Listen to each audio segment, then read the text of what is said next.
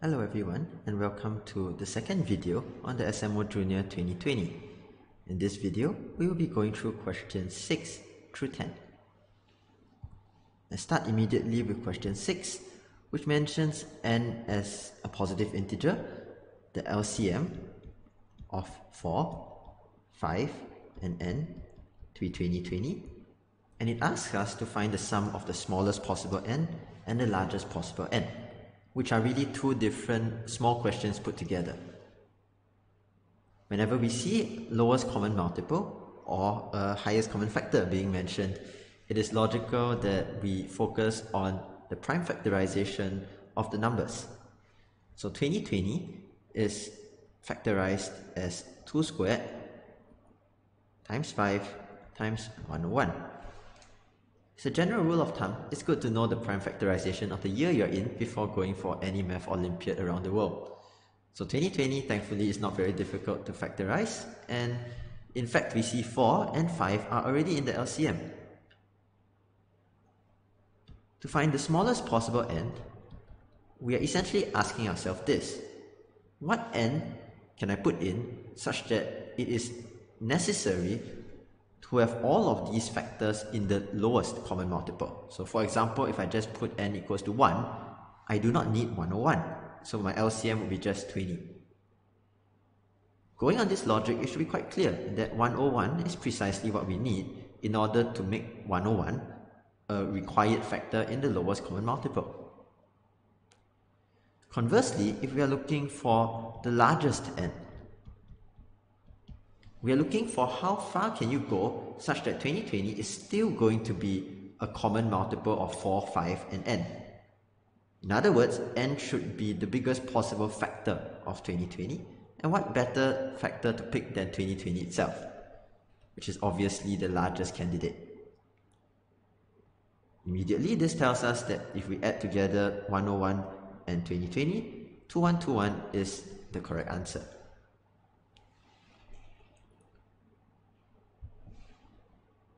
In question 7, we have got a statement about a division.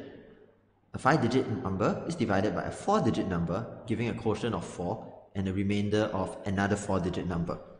And these numbers have unknown digits x and y. It is probably easier if we rewrite this as a multiplication instead, using the definition of your quotient and remainder. So, 2x 6yx, which is the dividend, is equal to the divisor, 5y27 multiplied by the quotient, and plus the leftover remainder x106.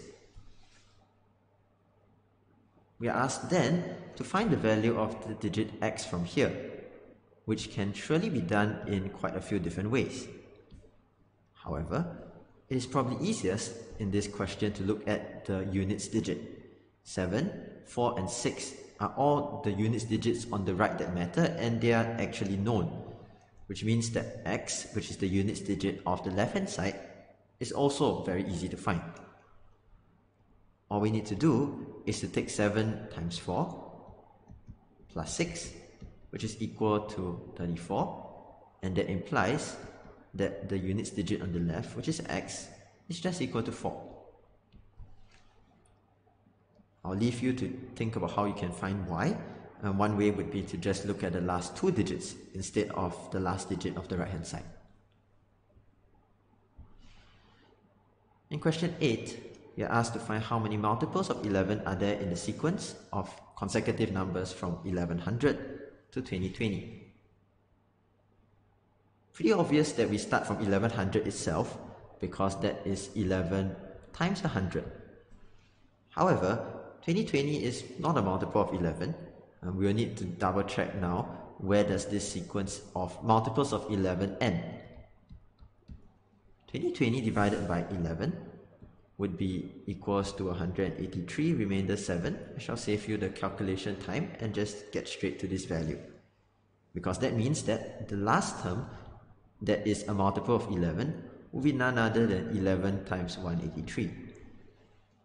This turns out to be 2020 minus 7, which is 2013, but we don't actually need that number because counting it from 11 times 100, 11 times 101, 11 times 102 until 11 times 183 is actually very simple. We just need to take 183 minus 100 plus 1 and that gives us 84 numbers. For those of you who have always wondered why do we plus 1 at the end, the idea is that when we subtract the smallest from the largest, we are counting the number of intervals between the smallest and largest number. So for example, if I have the numbers 1, 2, 3 and 4, 4 minus 1 is 3, which is the interval 1 to 2, 2 to 3 and 3 to 4. But that is not the correct number of terms. The correct number of terms is one more than that. So that's the reason why we have to add 1 back at the end.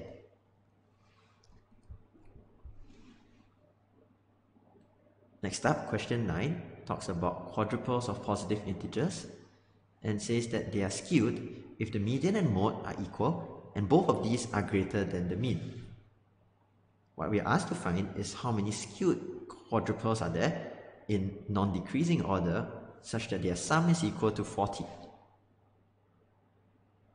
Before we do anything, let's recap what it means for us to have the mean, median and mode of a list of numbers. The mean is just the average. You add everything up and you divide by how many terms there are. In this case, the average is just 40 divided by 4, which is 10. The median is the middle number when you arrange them in order. If they're an even number of numbers, such as in this case, then you're not going to take the middle number, you take the average of the two middle numbers.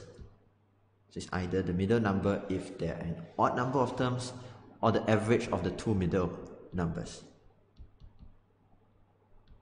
if they're an even number of terms. For our case, since A is less than or equals to B is less than or equals to C is less than or equals to D, this median is B plus C over 2. Finally, the mode of any list of numbers is just the one that appears the most often. If they mention the mode, uh, there can be more than one mode. If, let's say, you have two different numbers that appear equally often, but when you have the mode being mentioned like this, we can assume it is unique. So there cannot be the mode being two different possibilities or in fact four different possibilities. So let's just say that the mode is the one that appears most often.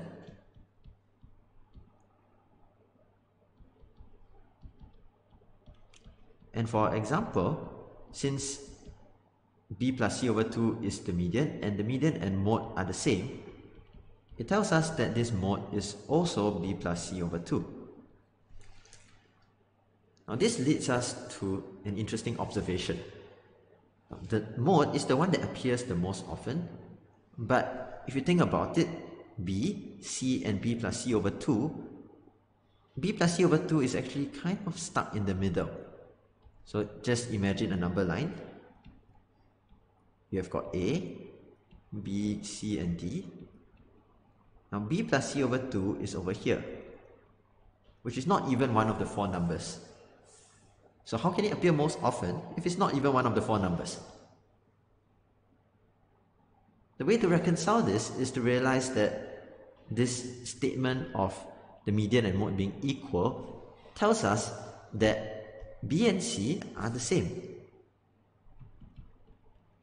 So if b and c are the same, then the average of the two middle numbers is just both of them, and the mode is also both of them. They appear twice. So that makes our life pretty easy because even though we are dealing with quadruples, the two middle numbers are the same.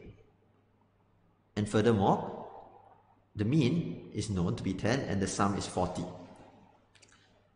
So the mean has to be smaller than the median and mode. So your median and mode have to be at least 11.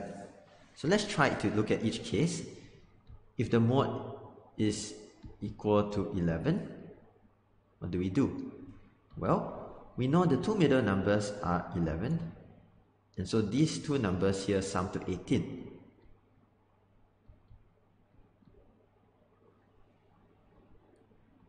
If they sum to 18, we just need to make sure that the number at the back is the largest, so it has to be at least 11, while the number at the front uh, has to be less than 11. So this first number can be 11, 12, all the way up to the most that we can go to is 17. The reason why 17 would be that the smallest a can be is 1.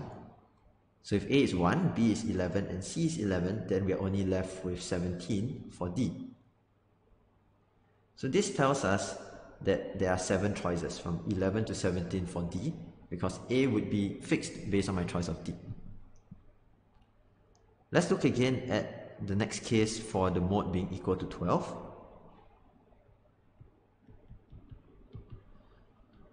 The mode is 12, then the two other numbers this time would sum to 16. The first number again is at least 1, so that means that the number behind is at most 15 but at least 12. So your options range from 12 to 15 and from 12 to 15 is 4 possibilities. Next case is the mode is equal to 13. If we have 13 and 13 means that the first and last number sum to 14. It is fairly clear that the only way we can do this is if the first number is 1 and the last number is 13. So there is only one case for the mode being 13 which is 1, 13, 13, 13. By this same argument, the mode cannot be 14 or larger because if we multiply that by 3, that already exceeds 40. So which means the last three numbers will already go past 40 for any larger mode. And therefore, the number of quadruples is just 7 plus 4 plus 1, which is equal to 12.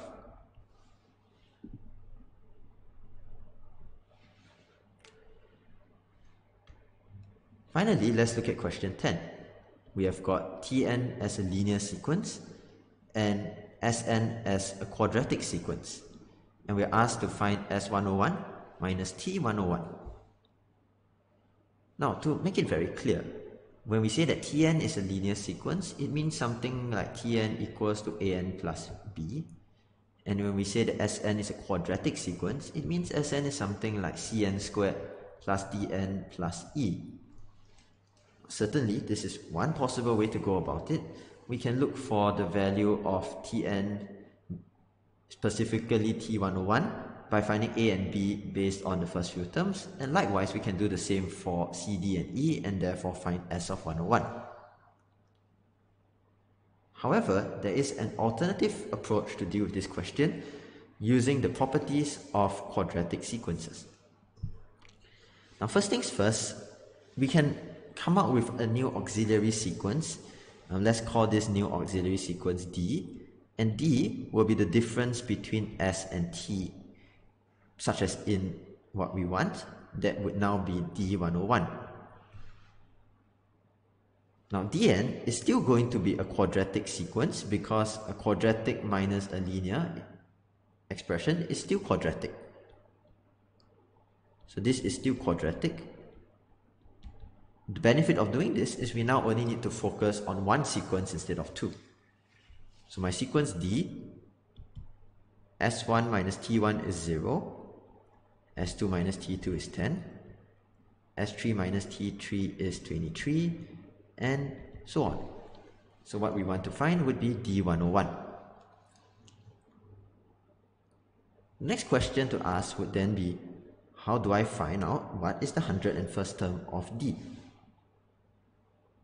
This comes down to the property of quadratic sequences.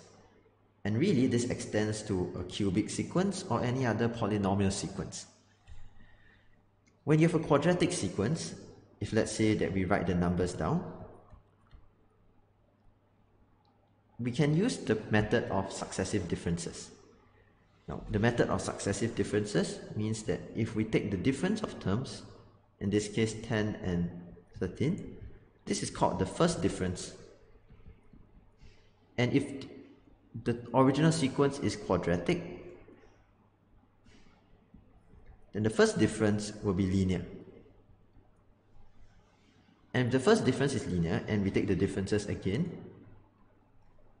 This is called the second difference. And the second differences are constant. So this is applicable to any quadratic sequence. Um, you could try out the square numbers, for instance, and you would get a similar pattern as well. So if the second differences are constant, that means that you can fill up your first differences and so on. And these first differences in turn give us our terms of D.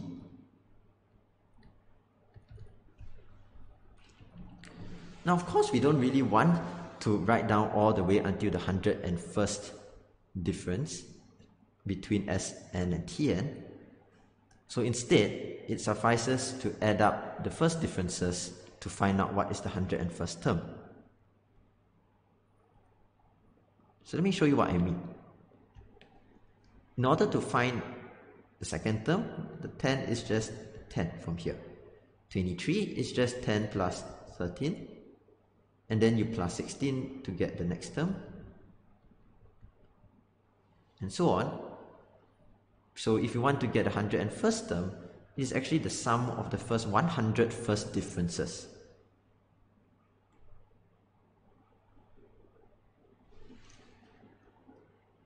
So we need to find out what is the 100th first difference. And in turn the 100th first difference is you start with the number 10 and you add 3 99 times. So 10 plus 3 times 99, which is 307. And this would be the last of the first differences that we need to add together. So let's add them all up. 10 plus 13 plus 16 plus 19 until 307. Now this is a linear sequence, also known as an arithmetic progression, so that means that it is pretty easy to sum this up. We just take the first and the last number. That would be the sum of each pair of numbers. We multiply by the number of terms, which we are already aware is 100, and divide by 2, because 100 numbers gives you 50 pairs. Doing this calculation, we are going to get the numerical answer, which is 15,000 850. So that brings us to the end of this video and in the next video we'll be looking at questions 11 through 15.